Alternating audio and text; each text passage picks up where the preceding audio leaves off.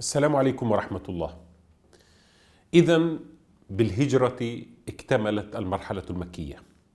ثلاثة عشر عاما منذ البعثة. انقسمت إلى ثلاث مراحل كما كما قلنا في المرات السابقة، الأولى كانت المرحلة التي تشكل فيها الفريق المركزي حول النبي صلى الله عليه وسلم ومدة تلك المرحلة ثلاث سنوات. ثم بعد ذلك انتقلنا إلى المرحلة الثانية وأنذر عشيرتك الأقربين. واستمرت هذه المرحلة التي حاول فيها النبي صلى الله عليه وسلم أن ينشر الدعوة في داخل المجتمع القرشي. حاول أن تسلم مكة وأن تصبح عمودا للدعوة الجديدة. واستمرت مرحلة طويلة. انتهت الحقيقة بالضبط في مرحلة الحصار في منطقة الشعب أبي طالب. ثم خروج النبي صلى الله عليه وسلم من الشعب.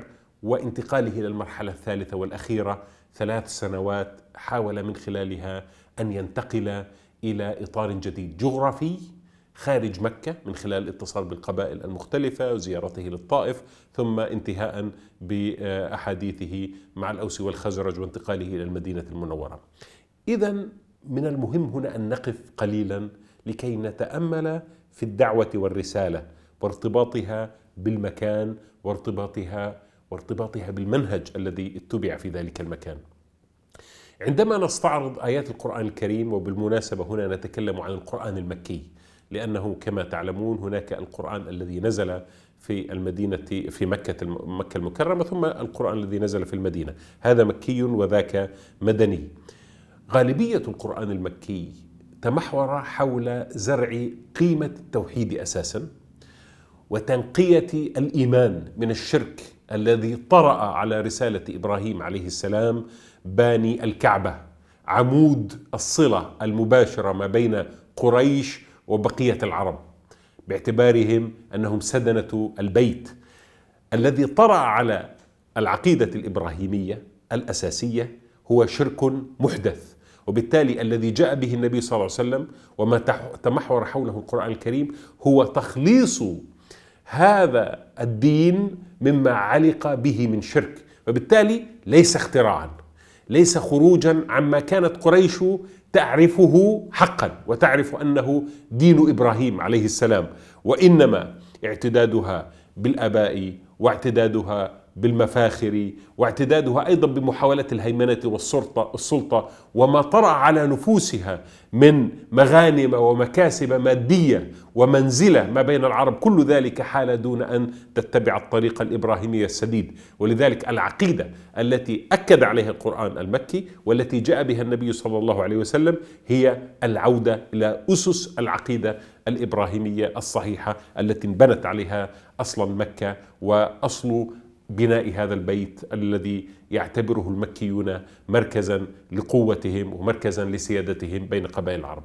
ثم من بعد ذلك أيضا القواعد الكبرى الأخلاقية الحاكمة للثقافة التي كان مجمع عليها في ذلك الوقت ولكن أيضا التي انحرفت انحرافا بينا عن النهج القويم. ولذلك الرسول صلى الله عليه وسلم في أحاديثه مع قريش أو في احاديثه مع القبائل الأخرى وقد رأينا ذلك مع بني شيبان على سبيل المثال عندما سألوه ماذا تدعو يا أخ العرب؟ قال تلا عليهم قول الله عز وجل في سورة الأنعام الآيات الثلاث قل تعالوا اتلوا ما حرم ربكم عليكم ثم ذكر المحرمات في الثلاث آيات ألا تشركوا به شيئا؟ هذا تركيز على أصل التوحيد. والا الا تشركوا به شيئا وبالوالدين احسانا ثم تحدث من بعد ذلك على المحرمات الكبرى تحدث على عدم قتل الأولاد ولا تقتلوا أولادكم خشية إملاق نحن نرزقكم نرزقكم وإياهم ولا تقتلوا النفس التي حرم الله إلا بالحق. ثم بعد ذلك يتكلم أيضا عن مسألة الإيفاء بالكيل وبالميزان ومال اليتيم ثم العهد عهد الله عز وجل وأن تعدلوا حتى ولو كان ذا قربى. ثم هذه القواعد الكبرى لا يختلف عليها أحد. بمعنى قريش وغير قريش تعتبر هذه من مكارم الأخلاق وتعتبر سواها من مساوئ ومراذل الأخلاق. ولكن كما قلت الانحراف العقدي الأساسي ثم بعد ذلك تغلغل فكرة الهيمنة والسلطة والمال حورت من هذه القواعد الكبرى. النبي صلى الله عليه وسلم جاء بصفاء العقيدة الأصلية ثم جاء أيضا بصفاء المكارم الأخلاقية الكبرى. الخطاب النبوي في مكة المكرمة وبدايات الهجرة إلى المدينة المنورة تمركز حول هذه القواعد الكبرى. لماذا؟ لأن النبي صلى الله عليه وسلم هنا يزرع الأسس والقواعد التي تمحور حولها كل ما نسميه إسلام. لكن بعد قليل في المدينة المنورة سنلحظ أن الذي سيحدث في المدينة هو تطبيق لهذا المنهج وهذه القواعد. هنا النظرية وهناك التطبيق. هنا القواعد والأسس وهناك المنهج العملي الذي سينبني عليه فعل وتواصل مع الناس جميعا. ولذلك فعلا مرحلة مكة المكرمة كانت مرحلة أساسية. المرحلة المكية هي المرحلة التي بني فيها الصرح. المرحلة المدنية هي التي ظهر من بعد ذلك فيها التطبيق وفيها الفعل. والقرآن الكريم في المدني أيضا كان مختلفا عن المكي في أنه تحدث عن القواعد، تحدث عن الحدود، تحدث عن المجتمع وتنظيم العلاقات، تحدث عن أهل الكتاب، ولذلك الخطاب في مكة كان يا أيها الناس الخطاب في المدينة كان يا أيها الذين آمنوا الخطاب في مكة كان إيقاعه وطريقته وأسلوبه فيه المحاججة وفيه الوعظ العميق وفيه الإشارات البالغة للأمم السابقة الخطاب في المدينة فيه الحديث عن الشرائع فيه الحديث عن القوانين والنظم فيه الحديث عن تنظيم المجتمع الداخلي وعن الأخلاقيات المنظمة لمجتمع مدني وليس لقرية كما الحال في المدينة في مكة. أما بالنسبة لحقيقة المنهج الذي تناولنا فيه الحديث عن عن مكة الحقيقة المصادر عن الفترة المكية قليلة. يعني السنوات هذه التي قضاها النبي صلى الله عليه وسلم تتلخص في معظم كتب السيرة بأبواب محددة ورتيبة وفي معظم الأحيان الحقيقة مكررة. نحن وضعناها في سياقها. نحن لم نأتي بشيء لم نكن سرديين. بمعنى معظم الفترة المكية درسناها في المدارس درسناها ورأيناها عمليا في معظم كتب السيرة وبالتالي وأنا الحقيقة أقول دائما في متابعة آه، آه، الإخوة لهذه الحلقات أرجو أن نعود إلى كتب السيرة وأن نقرأ في الحقيقة نذكر أنفسنا بالسرديات لأنه أنا لم أكن سرديا في مثل هذه الأحداث وربما في كثير من الأشياء كان فعلا جميل أنه ال- الذي يستمع إلى ما أقول يكون محيط بها. ولكن المهم أننا وضعناها في سياق سياق اجتماعي ولكن أيضا في سياق إقليمي وسياق دولي كان ضروريا أن نعرف ما الذي كان يفعله العالم في هذه المرحلة نعرف كيف أن أن البعثة النبوية جاءت مع انحسار لمنظومة عالمية لموازين قوى كانت قد تشكلت منذ مئات السنين وأوشكت على الأفول ما بين الفرس وما بين الروم. كان ضروريا أيضا أن نعرف التركيبة الاجتماعية والقبلية لجزيرة العرب ولمكة المكرمة تحديدا ولجوارها من القريتين في مكة وفي الطائف قبل أن ننتقل إلى ما نسميه بالمدينة، هذا الصرح الكبير الذي سيؤسس لفكرة جوهرية، فكره فكرة منظمة، فكرة مرتبة، وفكرة أيضا تصبح عاصمة لفعل سياسي قادم في التعاطي مع الأمم ومع الحضارات المحيطة بجزيرة العرب. كان أيضا من مما رمينا إليه وهذا منهج تعلمته الحقيقة في الصحافة أن ننظر في الشقوق، ألا ننظر إلى الأمور بكلياتها وألا نحكم عليها الأحكام العامة لأن هذا سهل ويسير والحقيقة كثير من الناس يحبوا الأحكام العامة لأنه تيسر عليهم الفهم أبيض أسود طريقة معينة في القول بأن كل من هو في مكة على سبيل المثال كلهم على قلب رجل وهذا ليس صحيحا؟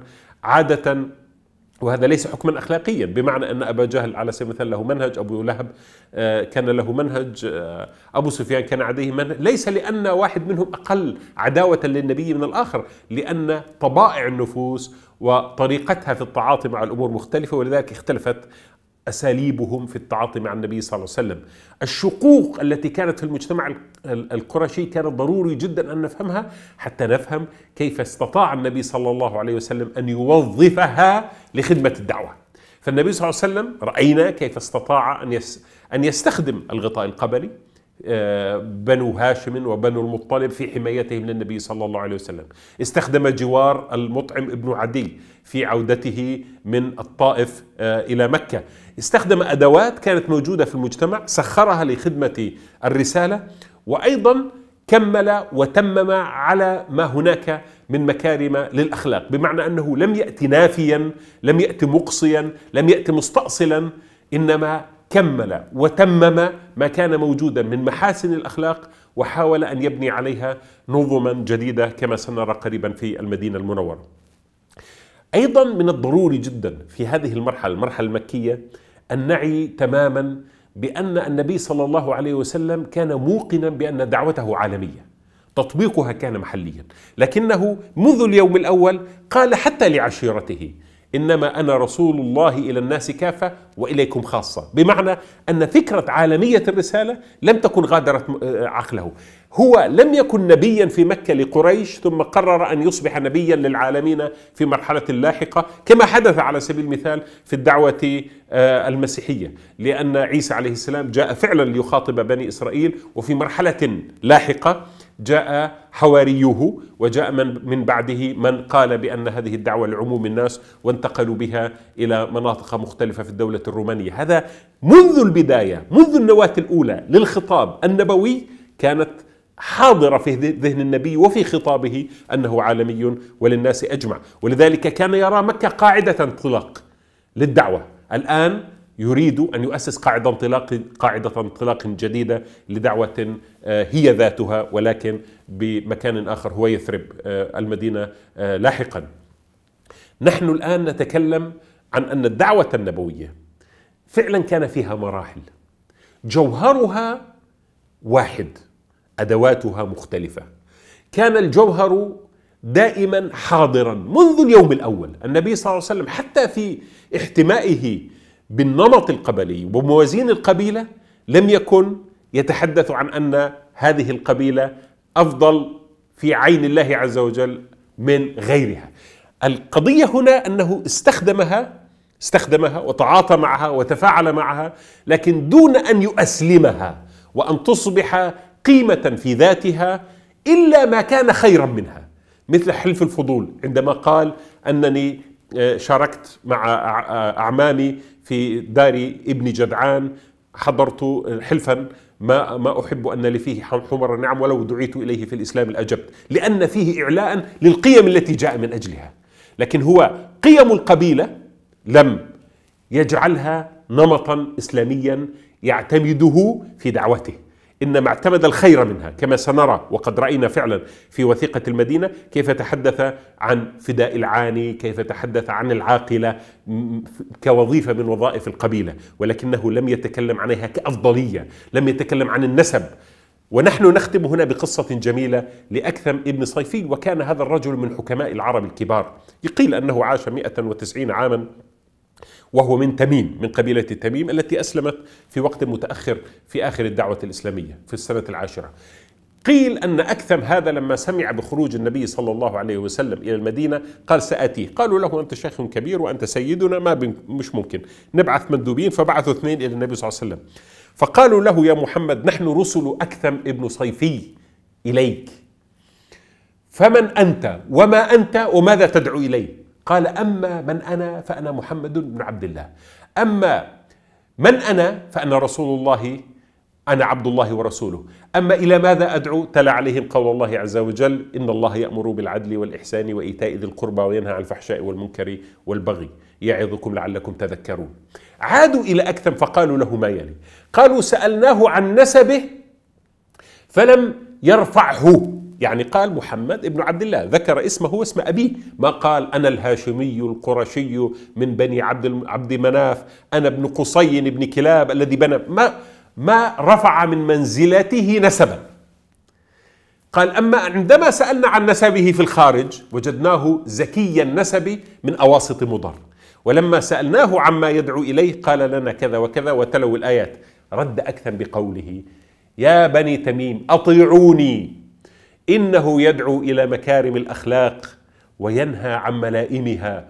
كونوا في هذا الأمر رؤساء ولا تكونوا فيه ذيولا. أدرك أن هذا الخطاب وهذه الشخصية ليست امتدادا للاعتداد القبلي القرشي ولا التفاخر بالأحساب والأنساب وأن هذه الرسالة لا يقول بها إلا نبي. ولذلك طلب منهم أن يسلموا. للأسف لم يسمعوا نصيحته لأن مالك بن نويرة وكان من زعماء القبيلة وقف وقال لقد خرف شيخكم. شو بدكم في هالكلام؟ ما تسمعوا منه. مالك هذا سيسلم في وقت لاحق ولكن للأسف سيقتله خالد ابن الوليد في مسألة حروب الردة. سنختم هنا بالقول نحن اليوم في ختام هذه الفترة 13 عاما. أيضا سنقف قليلا عند هذه المرحلة. هذا هذه السلسلة وصلت الآن إلى نهايتها بهذا الشكل. سنلقاكم إن شاء الله قريبا في شكل جديد لأننا سنتحدث عن مرحلة في الحقيقة موازين القوة العالمية والإقليمية ستكون فيها هي الغالبة. المرحلة المكية انتهت وانتهى منهجها ومعها انتهت هذه السلسلة لنبدأ سلسلة جديدة بشكل جديد وطريقة جديدة نحاول أن نفيد فيها أكثر لأن عوامل الفكرة الاستراتيجية والسياسية تكون أوضح في المدينة مما كانت عليه في مكة. هنا سينطلق الحديث بعد ذلك عن طبيعة التفاعل ما بين مجتمع المدينة والمدن الأخرى عواصم العالم الآخر عن موازين القوى عن طريقة إدارة النبي صلى الله عليه وسلم للصراع مع قريش انتهاء بتحويل مكة المكرمة أم القرى مرة أخرى إلى إلى حاضنة للإسلام. وبالتالي سنلقاكم إن شاء الله على خير في المرحلة القادمة. انتظرونا ونسأل الله سبحانه وتعالى أن يعيننا على أداء هذا الأمر في أسرع وقت ممكن. والسلام عليكم ورحمة الله وبركاته.